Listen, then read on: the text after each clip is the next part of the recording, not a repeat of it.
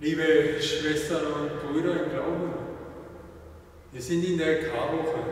Heute ist Karmittwoch, der Mittwoch vor Ostern, dem Fest der Auferstehung. Und wir können in der Zeit der Corona-Pandemie die Tage nicht in der Gemeinschaft begehen.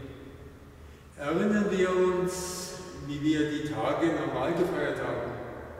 Da waren die Karmeten, auch Trauermetten genannt, die Abendmahlsfeier und die anschließenden Betstunden, der Kreuzweg am Morgen des Karfreitags, die Karfreitagsliturgie mit der Grablegung und den anschließenden Betstunden, die Auferstehungsfeier in der Osternacht und das Hochamt am Ostersonntag. Und nicht zu vergessen, die zeichenhafte Begleitung des Geschehens durch das Schweigen der Glocken und die vom Blumenschmuck leere Kirche. Wie eindrucksvoll war es dann, wenn in der Osternacht in Herbertsheim haben in der Regel die Erstkommunikanten mit der Gemeinde nach den alttestamentlichen Lesungen das Lied gesungen, Komm in unsere Mitte, o Herr, o Herr, komm in unsere Mitte, o Herr, o Herr. Wenn dann das Gloria angestimmt wurde, die Lichter angingen und die Kirche in österlichen Blumenschmuck leuchtete, wie eindrucksvoll. Ja, Halleluja, Jesus lebt. Heute am Karmittwoch stehen wir vor den heiligen Tagen mit den Trauermetten, die erste heute Abend, am Vorabend des Gründonnerstags begleitet die Kirche den Leidensweg Jesu. Neben Psalmen und Gesängen wird das Klagelied des Jeremias verkündet. Hier sehen wir und finden wir Klagen, selbst inspiriert von dem Heiligen Geist, vom Geist in dem Herzen eines schlagenden Mannes, und eines klagenden Volkes gewirkt. Aber Klage soll nie für sich stehen bleiben. Warum bin ich in solchen elenden Umständen? Was ist die Absicht Gottes mit meinem Leben? Und das ist nicht immer der Fall in unserem Leben, dass Elend eine Folge unserer Sünden ist wohl natürlich eine Folge der Sünde im Allgemeinen in dieser Welt.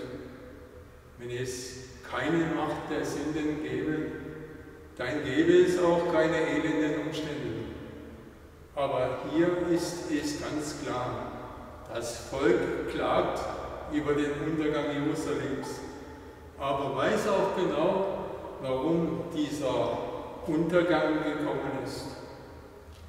Und der gläubige Teil, der gläubige Überrest im Volk klagt nicht nur über den Untergang, sondern auch über die eigenen Sünden, die zu diesem Untergang geführt haben.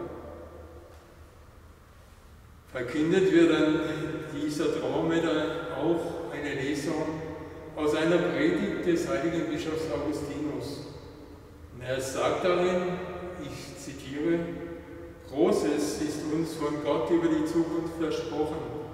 Aber viel größer ist, was schon für uns geschah und was wir festlich feiern. Was waren die Gottlosen und wo waren sie, als Christus für sie starb? Wer könnte zweifeln, dass er den Heiligen sein Leben geben wird, nachdem er ihnen bereits seinen Tod geschenkt hat? Warum zögern die gebrechlichen Menschen zu glauben, dass sie einst bei Gott leben werden? Viel unglaublicher ist, was bereits geschah, dass Gott für die Menschen gestorben ist. Zuerst nahm er das Menschsein an, um dann den Menschen Anteil zu geben an seinem göttlichen Sein. Wir hatten als Menschen nichts davon zu leben, er besaß als Gott nichts davon zu sterben. So wirkte er an uns durch die wechselseitige Teilhabe das Wunder des Austausches. unser war, wovon er sterben sollte, sein war, wovon wir lieben sollten. Er hat uns so geliebt, dass er für uns Sünder selbst ohne Sünde die Strafe erlitt, die wir durch die Sünde verdienen. Liebe Schwestern und Brüder, lasst uns also ohne Furcht bekennen und verkündigen, dass Christus für uns gekreuzigt wurde. Wir dürfen uns nicht fürchten, wir müssen uns freuen. Wir wollen uns nicht schämen, sondern rühmen, wenn wir es sagen. Der Apostel Paulus erklärte, er rühme sich nicht der Wunder Christi, nicht, dass er die Welt erschuf, als er beim Vater war, nicht, dass er auch damals über die Welt gebot, als er unter uns Menschen wohnte. Vielmehr, ich will mich allein des Kreuzes unseres Herrn Jesus Christus rühmen. Soweit das Zitat. Wir können die intensiven Tage unseres Glaubens nicht in der gewohnten Glaubensgemeinschaft feiern und werden das vermissen und vielleicht auch neu wertschätzen. Lasst uns im Geiste zu den Zeiten des Geschehens verbunden bleiben, im Gebet und in der hoffenden Sehnsucht, dass alles bald ein gutes Ende nehmen wird. Bleibt gesund. Wer krank ist, werde gesund. Wir dürfen auf Gottes Schutz und Segen auch in dieser Zeit vertrauen. Unser dreifaltige Gott segne euch, der Vater, der Sohn und der Heilige Geist.